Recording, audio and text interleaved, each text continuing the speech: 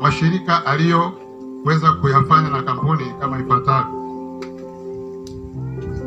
mwaka 2013 hadi mwaka 2015 Mese alifanya kazi katika kampuni ya Off Grid Electric Company kama logistic officer. Mwaka 2016 hadi mwaka 2018 Mese alifanya kazi kwenye Africa. Yeye alikuwa kama field officer. Mwaka 2018 Mwese alifanya kazi katika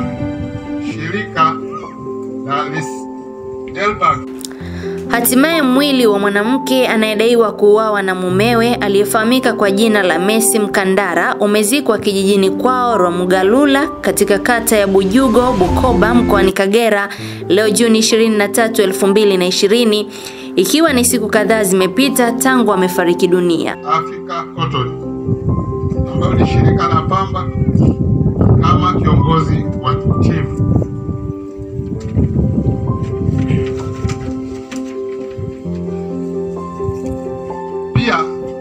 Mwaka huo Mese alifanya kazi tena katika shirika la utafiti wa mazao yasiyopewa kipaumbele kama kiongozi wa timu ambayo linaitwa Delberg Research.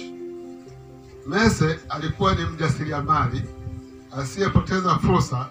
Alijishughulisha na biashara mbalimbali, hata katika mlipuko wa COVID-19 amekuwa msambazaji mkubwa wa barakoa na sanitizer kwenye makampuni mbalimbali.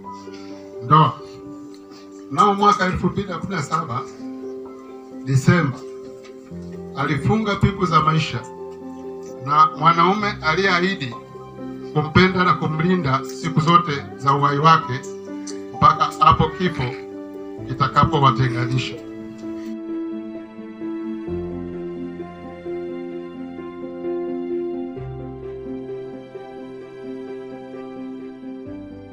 Angazie apumzike kwa amani, amin. La ya milele umpe Bwana, na mwanga wa milele mwangazie, mpumzike kwa amani, apumzike kwa amani, Amin.